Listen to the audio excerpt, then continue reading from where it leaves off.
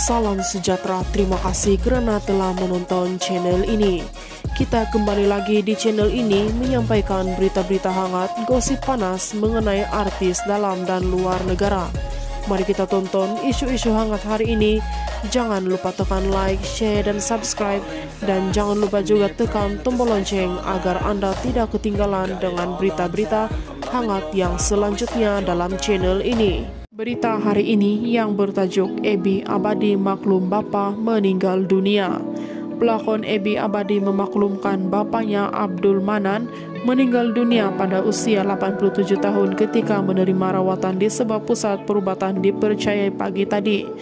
Berita duka tersebut dikongsikan bekas anggota kumpulan elit itu menerusi sebuah hantaran video di akun Instagram miliknya.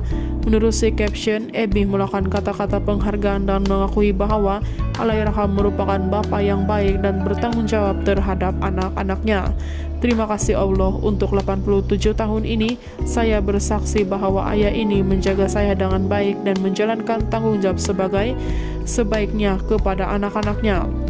Banyak sifat baik ayah, tapi yang dapat dekat saya ialah ayah suka bersedekah walau tak banyak mana, tapi ayah suka membelanja untuk memberi kepada orang lain. Memang ada yang kurang sebab ayah anak ramai, tapi untuk bahagian saya, saya merasa cukup. Terima kasih ayah, sungguh adik rindu tulisnya.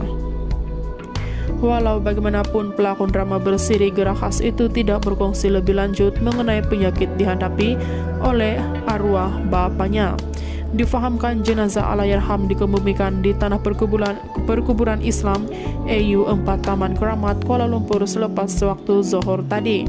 Terdahulu media melaporkan ibu Ebi yaitu Hasna Abu meninggal dunia selepas pengsan ketika menjalani rawatan dialisis di sebuah pusat perubatan pada Oktober tahun lalu.